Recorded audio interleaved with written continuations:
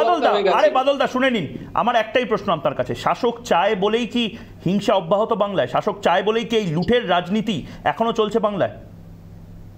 না কখনোই চায় না। দিদির চলছে কি করে? মঙ্গল গ্রহ থেকে মানুষ দিদির করে দিয়ে যাচ্ছে। দিদির মানসিকতা দিদির উদারতা দিদিকে এতবার তার গাড়িতে গুলি করা নন্দীগ্রাম থেকে তাকে মাথা ফাটানো কোমর ভাঙা পা ভাঙা বড় তো কোনো জবাব নিয়েছে দিদি আজ পর্যন্ত। কার থেকে জবাব নেবে? হয়েছে? কার থেকে জবাব নেবে? লালবাজারে চুলের মুঠি ধরে তাকে ঢোকা লালবাগ চুলের মুঠি ধরে তাকে ঢোকানো হয়েছিল। বলো তার জবাব নিয়েছে দিদি আজ পর্যন্ত। এই যে উদারতা দিদি কখনো চায় না।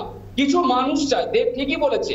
কিছু মানুষ চায়। আর একটা ময়ূর এক হাতে কখনো তালি বাজে না। বলো তো ব্যালট বাক্সে জল ঢালা ব্যালট বাক্সে আগুন ও বাবা ব্যালট লুট করবেন আর কি করা হবে? কারা? কি করা হবে? ভোট লুট করবেন আবার কি করা হবে? আপনাদেরকে বলুন তো ভোট লুট করবেন কি করা হবে? দাও। বিস্কুট টিস্কুট দাও। আরে বাবা আমার ওই বিস্কুটকে আমার ওই তোলাবাজির টাকার বিস্কুটকে চলে না আপনার মতো। আপনি টপিকে আসুন। আপনি টপিকে আসুন। আপনার ওই দেব যা অত বড় বড় কথা বলল তার দেবরায় কি হয়েছে? ঘাটালে কি হয়েছে? কেশপুরে কি হয়েছে? আচ্ছা, আমার কর্মীদের কেন রক্ত দিতে হয়েছে কেশপুরে? আপনি সময় নিন। আপনি এক মিনিট সময় নিন আপনি না এক মিনিট সময় নিন কিন্তু পয়েন্টে আসুন। আসতে চাই না। আপনি আপনি বাচ্চা মিনিট সময় নিন পয়েন্টে আসুন। বলুন রাখুন। এক মিনিট সময় নিন পয়েন্টে আসুন। আমার কথা হচ্ছে দিদি কখনোই চায় না। দিদির প্রতি দিদির সাদা শাড়িতে কালি লাগানোর চেষ্টা যারা করেছে ততবারই কিন্তু তৃণমূল তৃণমূলের ভোট বেড়েছে। হ্যাঁ দেব ঠিক বলেছে। আমি সমর্থন করছি তাকে।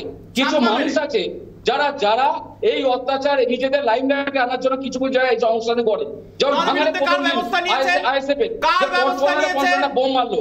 তৃণমূল কংগ্রেস তুমি বলছো বাংলা জবাব চাই। তুমি বলছো বাংলা জবাব চাই। আমি বলছি দেশ জবাব চাই। এতগুলো মানুষের প্রাণ গেল, কার বিরুদ্ধে ব্যবস্থা নিয়েছে? বাপ দেশে দেশে পেট্রোল ডিজেল রান্নাকে আরে বাবা, আপনার পেট্রোলের কথা ভাবতে হবে আপনি তো পেট্রোল প্রত্যেকটা ডাবল শিক্ষা দুর্নীতি।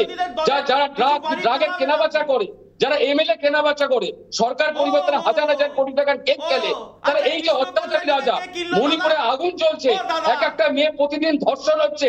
কোন জবাব আছে? কোন জবাব আছে? আচ্ছা, আচ্ছা, আর আচ্ছা, বাংলায়। খেয়ে বাংলায় করে বাংলার জন্ম জন্ম নিয়ে আর এই বিজেপি সিপিএম কংগ্রেস বাংলা বেশ বেশ বেশ সময় শেষ আমি চন্দন বাবুর কাছে যাব। চন্দন বাবুর কাছে যাব। বেশ বেশ বেশ বাদল দা আপনার সময় শেষ আবার আপনার কাছে আসব কিন্তু অনুব্রত মন্ডল বেরোবে কিনা সেইটাও একটা সেটাও একটা অনেকের মনে প্রশ্ন এক বছর হয়ে গেছে অনুব্রত মন্ডল বেরোবে কিনা।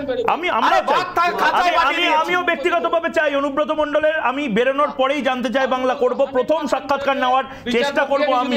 একটা কোশ্চেন করো বেশ দিয়ে দেবো আমি। বেশ বাদল দেবনাথ হয়ে গেছে আপনার আমি চন্দন চ্যাটার্জির কাছে যাচ্ছি। চন্দন চ্যাটার্জি আপনি শুনলেন দীপক অধিকারী দেব কি কথাটা বলল। এর পাশাপাশি দেব কিন্তু এই প্রথমবার বলছেন আমি জানি না দেব অসহায় কিনা কিন্তু দেব এই কথা আগেও বলেছে। পঞ্চায়েত ভোটের আগে দেব কি বলেছিল প্রথমে শুনে নি এবং তারপরে আপনাকে পুরো সময় দিচ্ছি। প্লিজ যুদ্ধ কোনো লড়াই করো না তাতে তোমাদের ক্ষতি কোনো নেতার কোনো বড় লোকের ক্ষতি হয় না। তারা ওই এসি রুমে বসে দুটো ফোন করবে, কি হলো? যেই হোক না কেন, আমি আট বছর, ন বছর এক্সপিরিয়েন্স নিয়ে বলছি। প্লিজ আপনার লড়াই করবেন না।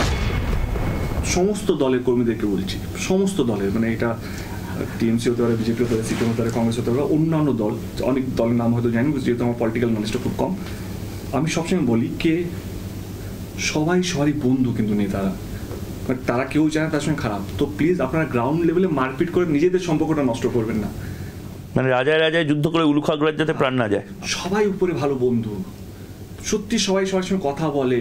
এ রুমে যায়, ও রুমে যায়, ও এখানে যায়, ও এখানে আসে। এই সৌজন্যটা উপরে সবার দিকে আছে, তোমরা কেন শুধু লড়বে? কেন আমরা ভালোবাসা থাকতে পারব?